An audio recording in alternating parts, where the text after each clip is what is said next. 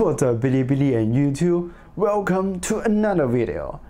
今天呢，我们来说一下菜鸟摄影师所需要知道的十一个可以让他们发图、分享、讨论、交流的摄影平台，或者说 App。那么我们都知道，对于一个菜鸟摄影师，或者对于所有摄影师来说，一个好的摄影平台真的是非常的重要。因为一个好的摄影平台，你能够有一个比较及时、丰富的反馈，然后你有很多志同道合的朋友，或者说摄影师跟你一起讨论某张照片、某种摄影技法或者某种摄影题材，那么你也能够从中获得非常多的经验。那么另外一方面，因为有这么多的反馈，这一个摄影平台能够极大的激发你去创作、你去摄影的欲望。所以说，摄影平台很重要。那么，如何选择一个摄影平台呢？那当然是用 Excel 了。哎，行行行行，先别关视频，这个只不过是我的前期一些准备的数据源。那么，呃，我就废话先不说，就我准备了这么多平台，然后根据我的主观体验，然后利用这个做调查问卷中学到的这个 rank order questions 这个概念。就是说，呃，根据它与其他的 A P P 相对比的做一个相比较的评分，然后可以得出一些，呃，不容易得到的数据，比如说它的发图的容易程度之类的。那么用这个 Excel 做了这个十一个 A P P 或者是平台它的数据源之后，我把它导入到这个 Tablet Desktop。这个数据可视化的一个软件里面，然后我都会进行一些可视可视化的操作，然后把它做整理成一个 dashboard。这个只是一个草稿，呃，小一点载入。然后这个草稿的话，我不晓得为什么以前会储存不了，反正这比较乱。那没关系，我们导出了一个网页出来。等一下我会把网页这个网址发到视频的链接下面，然后你可以看到。这写着“菜鸟摄影师须知的十一个平台”。那我们可以看到，呃，Instagram 他们的 slogan 或者标语是一个简单、有趣和有创意的方式来捕捉、编辑和与朋友和家人分享照片、视频信息的平台，其实就是视频、照片的社交平台。那么可以看到它的呃粉丝量，他们用是非常大的，七亿。激活用量，那么呃，但是他们的粉丝粉丝增长可能性不是特别大，毕竟竞争很多嘛。呃，他们的总部是在 San Francisco，所以啊，而且因为这个社交媒体的特殊性，所以在国内是用不到的啦。特殊国可以看到，呃，这个摄影激励力度啊，我们一个一个 A P P 来看哈，就是我们看看到 Instagram。它的直接获利能力是三分，就是它不能直接，比如说你发很多照片，不能直接获得钱，但是你可以通过与品牌商合作之类的，或者接入其他的呃平台，然后你给他们传东西，然后这样赚钱。然后它摄影对口度其实是蛮高的，Instagram 是有很多摄影高手在里面的。那么呃，我这个图是分摄影对口度，它的分值是蛮高的，达到八分。然后它的易用性印刷馆是蛮好用的嘛，蛮简单，可以用，很容易上手，所以它的易用性也很高，所以它的综合是在这里。然后它的职业摄影发展平台，我们可以看到，呃，它不是很高，怎么说呢？这个其实它的分数，它的权重应该会要更高一点，但是我这里写的是摄影师直接获利能力，就是说它可能会出现它在 Instagram 上面小小火起来，但是它并没有赚很多钱，在呃相比其他的 APP，它可能会火着的时候，它能直接能赚到钱但是 Instagram 不能直接的赚到钱，它还是需要一些其他额外的工作的。呃，他那些格外的工作其实也能赚到很多钱，但是稍微迟滞一点，所以按照直接获利能力来说，这个 Instagram 是稍微差一点点。然后网红潜力的话，Instagram 是很大的，它是只要你的，就简单来说嘛，如果你拍的是小姐姐，放在 Instagram 上面是很容易火起来的。呃，反因为按照他们的那个粉丝增长可能性跟预估。累积激活用户量就是现在有多少个人用按照这样子比重的话，是很容易火起来的。那既然你们看到了其他的 APP 平台呢，就给你们看一下今日头条。今日头条点一下，那它是在北京的，呃，说是最懂你的信息平台，它是有七亿用户，呃，然后它的粉丝增长可能性，我给它的呃权重是，它其实也是不低，它是可以说是其实是蛮高的，因为它毕竟体量这么大，但是它还是很容易增长粉丝的，主要是看你的定位。那我们也可以看到，呃，它的摄影对口度其实并不是很高，但是它很容易用，然后很多人在用，而且今日头条有很多你点击率啊，呃，或者是传播量上去之后，你能够直接获利，所以从金钱上面的激励程度来说，今日头条其实是很大的。然后，呃，你可以看到，我就把今日头条。放在第二名了，就是如果你要做一个职业摄影师的话，如果你的定位足呃比较好，其实在今日头条上面发展是很有潜力的。那么网红发展潜力就不要说了，今日头条最著名的除了今日头条之外，抖音都是他的，是吧？那么我看我们看一下，还有新浪微博，一个非常老牌的微博平台。那么它现在是有三亿多用户，呃，这些用户量不要较真，反正我是从不同的信息，很多平台不愿意公布他们的数据，呃，也有很多他们呃总量可能有些夸大，可能有些不是很准确。事实上，我应该要用的是 MAU 或者是 DAU，就是每月每日的激活用户，但是那个的话其实是商业机密，很多。平台它是不会公布的，所以这个我们只是来参考使用。那么，呃，新浪微博的话，对，它新浪微博的总部也是在北京的。然后，呃，你可以看到它略有略有获利能力，直接获利能力，但是并不是很多，因为它竞争实在是太激烈，而且没有今日头条的算法这么好。但是它的。呃，摄影对口度的话，比今日头条稍微好一点点。呃，因为毕竟它的兴趣聚合比今日头条要好很多，就更多的是人，而不是算法跟机器人嘛。呃，今那新浪微博的话，我给它的职业发展潜力的话，我就放在比较中间偏上。呃，其实的话还好，主要是竞争比较大，这个是因为产品逻辑的问题，新人很难出头。呃，网红发展潜力，我就把它放在一个比较中立的地方，比较中间，就是还是要靠炒作，但是这个的话，炒作也是要钱，所以的话，你要看你自己的估量，你的素材的领域是什么，有就没有具有话题性。啊，并不是单纯的靠摄影的质量、作品的质量来说话。然后乐乎，乐乎是呃网页的一个旗下的一个比较小众的呃轻微博，但是它现在处于比较停滞的状态。然后，嗯，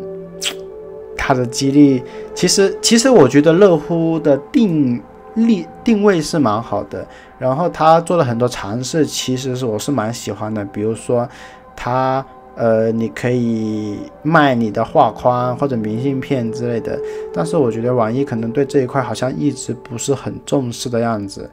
所以好像现在经常有谣言说要准备被收购，所以现在暂时不是很推荐大家进驻乐乎。呃，你不过乐乎的摄影水平还是蛮高的。呃，但是他们好像很多很多人说乐乎的氛围不大好，但是我没有直接感受过氛围不大好，就是他们会抱团什么之类的。但是我感受到的是乐乎，他们很很喜欢看你的照片，我的阅读量很高，但是没有人点赞跟评论，我觉得这个很奇怪，可能他觉得我拍的很渣，嗯，可能吧，要多多努力。所以我觉得，因为没什么人用啊。然后，现在几乎主流都没有提到这个名字，所以我觉得它网红发展潜力是很低的。那再到五百 px 是国外的一个软件，就是很纯粹的一个摄影平台，一千五百万的用户，它的总部是在多伦多，呃，它有中国的版本，所以国际版是被抢了，然后它。呃，有一定的直接获利能力，其实它就是你可以授权给图库，但是一般这个获利的可能性是很小的啦。但是它非常的专业，专业专业对口，然后呃，偶尔你会获得一些人的评论，不过我感觉比较水，然后但他们是他们是。呃，很多是反馈还是相关的，就是说你还是能知道你拍的这张照片好不好的，因为他会给你每张照片评分。比如说，一般我觉得现在八十分算是合格的，然后如果你那照片拍的很好很好很好，那那起码也就是说要到九十分。呃，但是现在很少能够看到有些人会拍。到就是新人能够拍到九十九、九十八什么的，以前很很常见，现在很少了。现在好像人们不大愿意投票了，不是很知道。但是还是有很多很厉害的摄影师跟作品在里面的，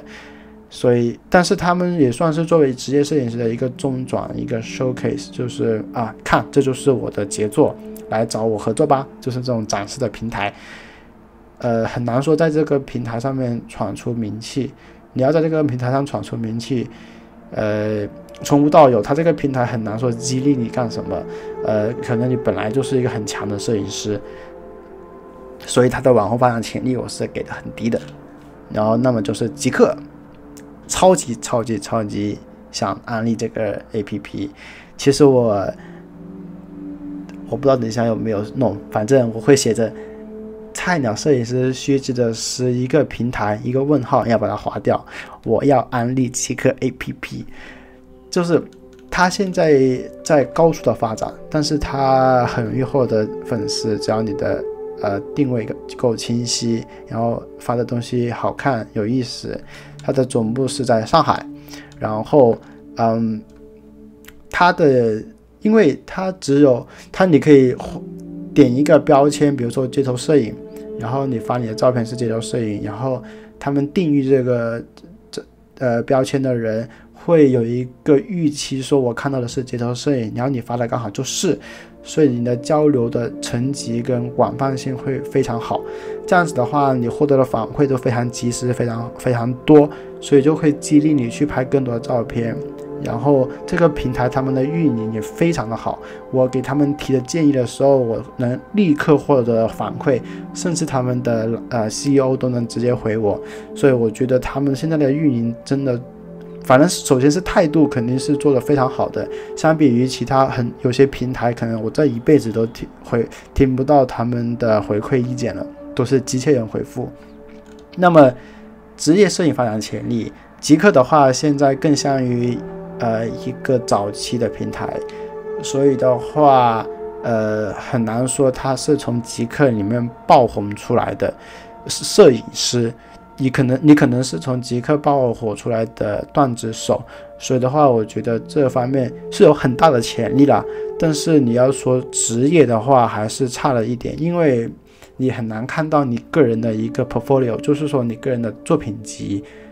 因为你可能你。平常也发很多段子啊，转发什么东西，这样子的话就比较杂乱，它没有一个你摄影师的专属空间，整理你的照片、专辑之类的。所以我还我觉得还是差一种，呃，摄影师具备，就是职业摄影师具备那种，呃，专业感。那么网红发展潜力，我觉得它还是蛮大的，因为它有很大的粉丝增长空间。虽然它现在用户量不是很高，但是，again，它正在高速的发展，所以我说极客这个平台是非常非常值得推荐给新手的摄影师，因为我们都是一起在成长，这样子真的机会很很少很少有。那么，这个 Grow Shop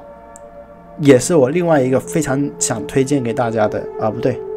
我们先说一下图虫吧，先不要那么快推荐给大家，先说一下图虫，呃，还是可以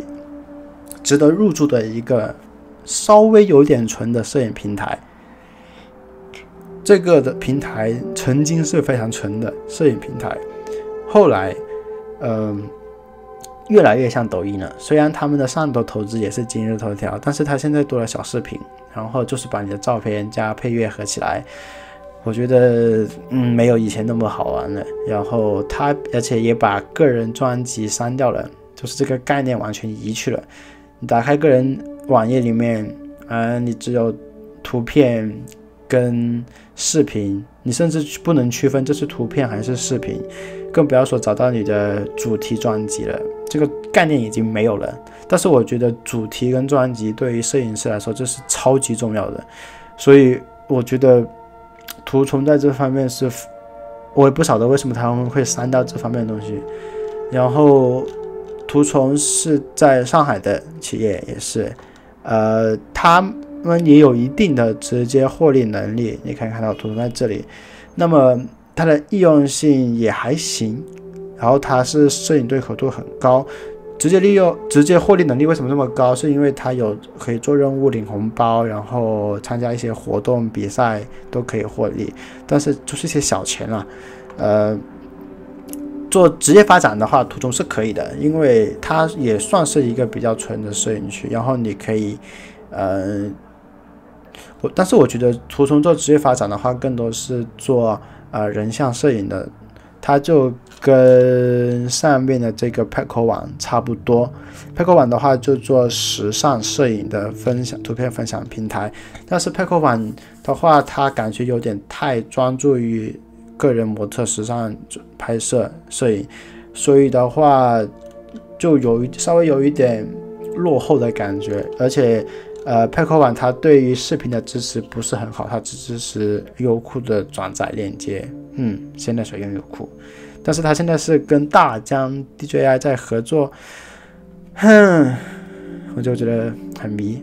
那 g r o w Shot，我们回来了。呃，世界上最大的摄影游戏就是你上传他的照片，然后参加他们的比赛。你上传的照片，他们别的人会看你的照片，给你打分，然后你的排名就会上升。你给别人投票，给他们打分，然后你的照片就会获得更多的曝光量，就会，呃，更多人给你打分。然后你到达一定的名次之后，你就可以获得奖金，啊，但是当然奖金是很难获得，因为参加的人实在太多了，而且呃也有很多高手，然而。这个最大的目的就是你在参加的过程中，跟别人 PK 照片的过程中，你的技术能够得到一定程度上的提升。你也可以，呃，更多可以看到，诶，他们是怎么理解这个问题。你也可以看到，呃，更多的，他们因为他们每个星期都有很多主题的比赛。你可以从这主题上面得到灵感，我可以拍什么照片，然后他们是如何做这个命题作文拍去拍摄这样的主题照片，我觉得这个非常有用。那么最后这个就是 Shutterstock Contributor，就是一个图库上去卖照片的。所以这个也算可以作为一个职业摄影师，你可以作为一个图库摄影师。那么这些的话，我就不不再仔细的说，你可以直接到我等一下发你们的链接来看一下这些 A P P。那么今天的介绍就到这里了。我因为我注意到这个视频已经超过二十分钟了，我不想一个视频太长太长，那样子不好。但是这样视频其实也蛮长的，所以我们就今天到此结束了。哎，等一下，等一下。在之前的话，我来总结一下，呃，现在越来越多摄影平台给我们选择了，呃，但是我觉得你最好要专注于几个好的平台、优质的平台，然后精心经营他们，多发图，有规律的发图，发好图，不要所有平台都发，那样子的话，你的精力会大大分散，然后你会疲于在上面经营你的各种关系啊之类的，就很浪费时间。呃，最关最重要的是，这个只是一个平台啦。呃，你能在上面交流，在上面发图，但是你不能在上面花太多的时间。呃更精彩的摄影世界是需要你去探索的。然后在更精彩的摄影世界之外，还有更精彩的生活，还有更重、更更更更重要的工作与学习。我希望你能通过这个视频，来呃减轻你在寻找这些平台，还有呃各种这样子的迷茫和压力，然后获得更好的呃这种生活的这种平衡吧。那么今天就到这里了，我们下期再见，拜拜。